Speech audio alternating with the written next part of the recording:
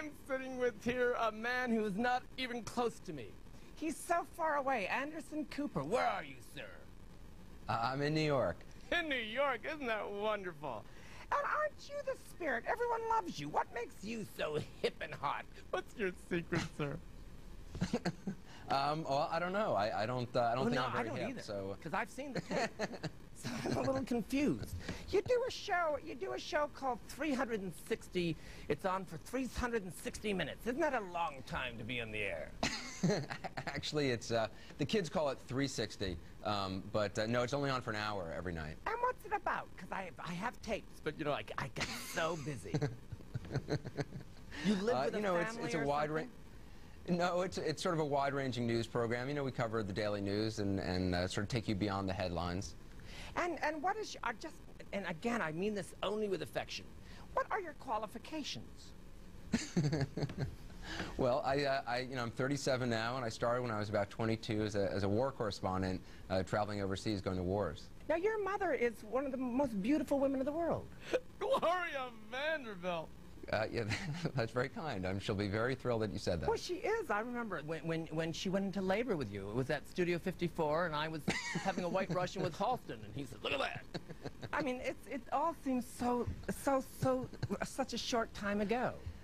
That's true. Liza was my wet nurse. Yeah. Yes, she was. Liza is many people's witness.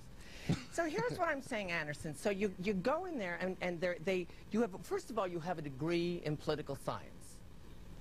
Yeah. Do you ever yeah. think you'll get to use it? no, I don't think so. Because I've seen the very I've, much. I've seen the work, and the and the young love you. You did rock the vote. I, I did. I moderated uh, Rock the Vote, which was uh, all the Democratic primary candidates. And that was very effective. Would you get seven seven rappers up who, who, who, who had just done some PCP? That was very good on you. But you are you represent the next generation, don't you think? But how is it that you're affecting them? Um, well, you know, I, I don't know. I mean, I think uh, people of any age respond. Can you see me better now? Yes, I can. For the first time. Well, now that I see you're not as young as I thought. So, so your secret is that you can. How do you relate to them? Because you don't talk down to them intellectually. That I know. I think you just try to be yourself. You know, I just uh, I don't pretend to be something I'm not, and and um, uh, you know, I guess some people respond to that, and I and I appreciate it. Gee, and you know what? I, it's it's you know you know that moment you must have had it where you ask someone something and you're hoping that the answer will hold your interest just for a good 10 seconds. But there's I I think that one of the strengths that you have is that there's a drone to your voice, and it's almost hypnotic. It's so in a way it's soothing, in a way it's depressing. And I think that's your that's your strength and that's your combination. I want to say this to you, Anderson Cooper. I think you're wonderful, and I think you're the wave of the future, and I think you're a genius. And I think, oh, Jesus, one minute. And one minute? Let me ask you, here's something I've always wanted to ask someone like you. Do you think it's important for someone to now, let's say Brian Williams, he does the news. Should he then go to the internet and answer questions? Should these newscasters think in terms of the internet and the whole picture? What do you Uh, think of that I question? actually, what uh, do you think of that question I just asked you? I have no idea what you're talking about.